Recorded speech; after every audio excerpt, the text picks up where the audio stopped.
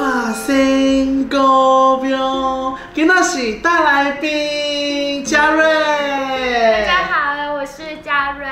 最近是怎样？暑假到了，开始纷纷有这种惊悚片上映，是不是？。对，嘉瑞最近就是参与了，我们会不会太太太太那个太真实？因为我们今天就是刚好办记者会，然后就想，因为他们有故事，所以就想说顺便就来听一下这个嘉瑞的故事。嘉瑞准备了三个故事，对不对？嗯，好，那因为嘉瑞本身是演员哈，因为你拍的都是这种惊悚片吗？大部分都是，其实有拍一些青春的，但是大部分都是这种片，然后目前上映的也都是这种片，对 这种到底是哪一种片？就是比较惊悚、恐怖的，哦对，然后甚至十八禁的血腥片这嗯样子。好，那听说就是嘉瑞在拍戏的时候遇到蛮多这种灵异的故事。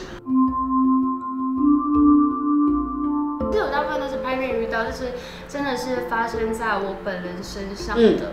那时候其实就是拍完片的时候，我回家已经两三点了。然后通常这个时候我们都是很累，我们就想说洗完澡用一用，赶快睡觉。就是借住朋友家三四年前，哦，所以还是可以知道是哪一部片。然后刚好也是拍片，嗯，对，然后我们也是在山里面拍，在台北。哦，台北的在台山，北那台北没台北没几座山哎。我们还是 在废墟，哦就是有一个在一个真的火烧过的广播电台，好像在新北。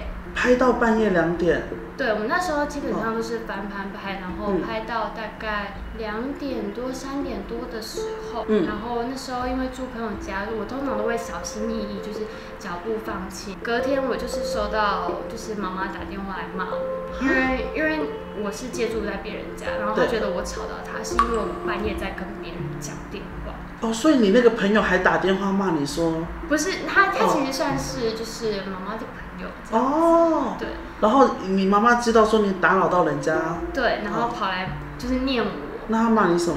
他就说你为什么你三更半夜在跟谁讲电话？后来是我就说我没有，因为这件事情完全没有发生，因为我是用完就睡觉，截图我所有对话记录，那一天几点几分我就赶快截图给他看，嗯，我就说我真的没有跟任何人讲电话。可是当下你还住在那里吗？呃，后来就是拍完之后我就搬走了，但你妈妈骂你的时候，你还是继续住在那里？刚好最后一天。哦，最后一天。对，哦我后来去收金，因为他说是真的听到说有人在讲话的声音，就是他的时间点大概是四五点吧，但有可能是邻，居隔音太差吗？不可能，因为他们家有养养狗，通常我在外面也听不到狗叫声，所以是就是自己房内传来的。对，真的，而且是我房间，他就是嗯走到我房门口有听到我在讲话这件事情。真的那你去收金之后，你有问师傅什么吗？还是就是？我没有，我就是纯粹收金，我也不敢问他，因为我自己其实很怕这嗯种事情。嗯嗯嗯，搞不好是他们拍完片刚好跟你回去，嗯，对，但好像也没有什么恶意。我觉得应该就是我们都是保持尊重的态度去对他们。但你们拍这种片有需要，就是有，因为这个应该也是拍的蛮恐怖的吧？对，他是在哪里拍的？我们其实蛮多场景的哎，就是在、呃，包含羽凡的家，就是在家里面，然后我们也有在新店的深山里面拍。因为你常拍这种，有什么这种禁忌，或者是拍完之后要做什么仪式才可以保自己平安？有哎，我们现场都会用一个红包袋，就是嗯剧组都蛮贴心的，里面会这不是更恐怖吗？可是那红包袋就是里面要装钱，然后你拍的过程中你一定要放在身上。嗯，然后到后面的时候，你就是呃那一天拍完，我们就是要回家前，一定要去把那一块钱花掉。哦，好像是这样子。对，，然后我还会就是到人多的地方走一走。超商什么之类的，我之，前也有一定要人多的对，因为我一开。始拍这个单元的时候，也有人跟我说，你这种结束之后不要直接回家，可以去苗走走，或者是去便利超商之类的。对，而且我自己身上都会大概四五六个平安符。嗯嗯嗯，这个剧组也很专业，在拍这种片，是不是？对对，其实大家都是蛮贴心，也会想要保护你的安全。毕竟，呃，我的角色又是比较属于是上仙的状态，有被附身的桥段，嗯所以其实这个部分就是不知道会不会惹怒他们呢？应该是不会 个故故事其实是就是在我刚刚说的新店深山里面嗯发生的事。是拍这部片的发生的吗？对，去年。两年前，这部片是两年前拍的。然后那时候是在我们就是有一场大乱斗，然后我嗯们在新店深山里面拍，书画间外面就是有一个类似落地的完完全全就是玻璃柜，里面有各式各样的娃娃。可是他的娃娃不是像我们看到可爱的布偶娃娃，而嗯是真的就有点像是安娜贝尔的娃娃。哦，所以他书画间是临时在废墟搭一个书画间。他不是，他是营区的一个一栋楼，就可能是家、住家。我们只是把书画间放在那边，我们是在拍室外的戏。那个娃娃就是大家看到都不敢讲因为，就是不会去特别去提到，对，就是我们不会去讲。但大家都感觉有种，就是感觉很诡异的感觉。对，就是看得出来，就是真的是比较长得就是不是我们一般会比较讨喜的娃娃，嗯长得很委婉。对，嗯然后后来是旁边有工作人员，就是在最后一天忍不住，他就嗯有跟我说，他就说，哎、不觉得这个娃娃长得就是很可怕吗？但你们应该说，对，我也这样觉得吧。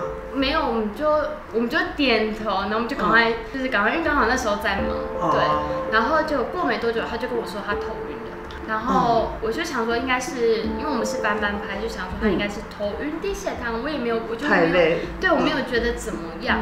然后是后来我们开出营区的时候，我们就有一个一段路程，我们要往上，然后他才能出这个营区。嗯，他一跨过那个门的时候，他就当场吐，而且是真的是一直吐的那一种。就后来我赶快又回现场，我就是请宗教指导帮我们处理，然后他就说你是不是刚刚有讲不该讲的话？天哪！然后他就是哦用法器，就是也是变宗教指导都是找专门的、专业的这种法对师。对对，帮他处理，然后就是看他的眼睛，嗯然后他就是从他眼睛的那个血丝里面有看到黑点。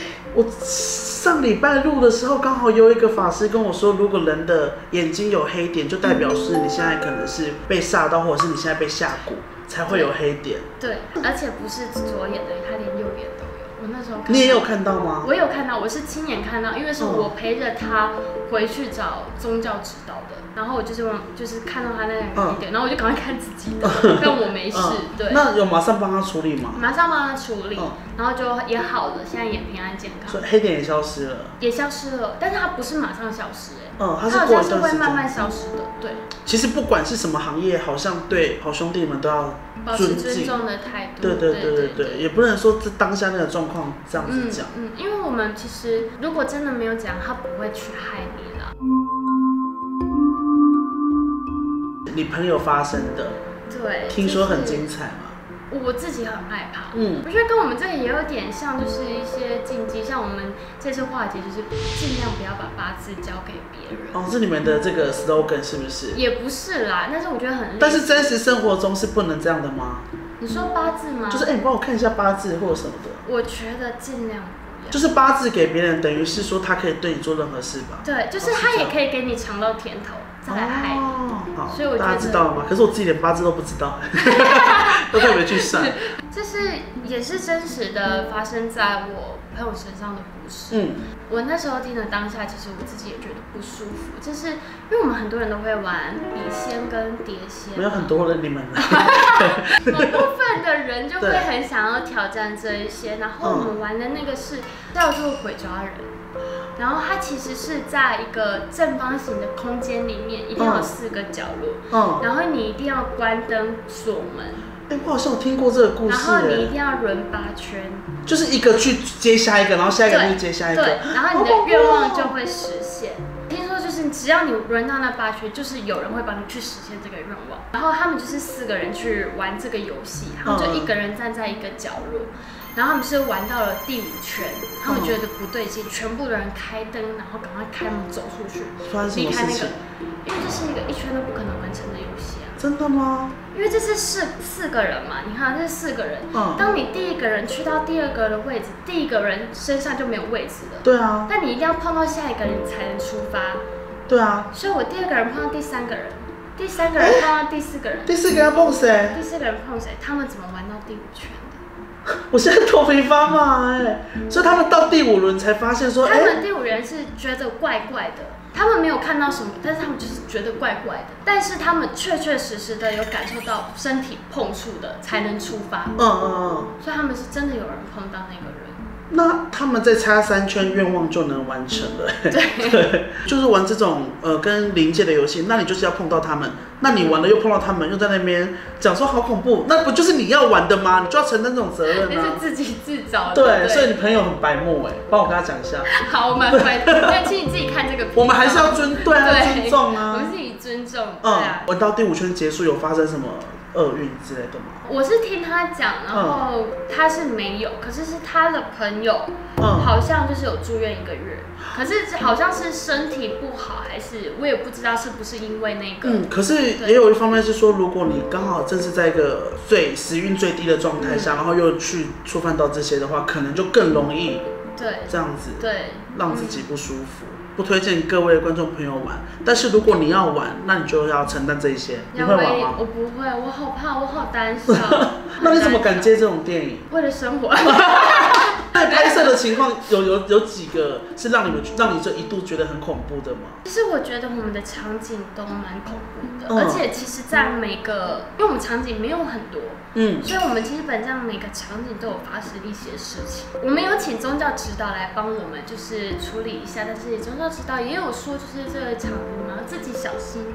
但你们每次开拍都会有什么拜拜还是什么之类的吗？我们一定会有就是开工拜拜。其实我们这次就是到各个场景，我们都一定要跟场主跟天啊，就是都会拜，然后会拜嗯奎爷这样子。祈祷拍摄顺利，然后也希望能够就是大家一起使用这个环境，然后大家和平相处。好，那我们最后请这个嘉瑞再帮我们介绍一下这部电影。我们哎、我们从头到尾都还没有提电影的名称哦。有化解，那我们只能拍到，我们大概只有拍到结而已。啊啊好化解化解，化解。嗯，化解 这是一个改编自小说，嗯然后小说其实它也是改编真人真事的故事。我觉得在里面不只是灵异的恐怖，其实也有在讲人的执念，嗯还有人的一些想要为了要去得到目的，然后不择一切手段。我觉得这件事情对我来说也是很恐怖的。嗯，六月二十一在全台上映，大家记得进电影院帮我们支持我们的花姐哦。好，那今天谢谢嘉瑞来这个 Single 陪我分享故事。那如果你自己有这种超自然现象的话，也可以在我们的资讯栏点到我们的这个电子邮件，然后就可以投稿你的故事，我们会有小帮手去回复你。好，听说这是你们首映的电影票是不是？对啊，很恐怖哎、我以为是金纸、也太恐怖了吧！好了，那祝你们电影大卖喽！谢谢好，那谢谢大家，大家拜拜。拜拜。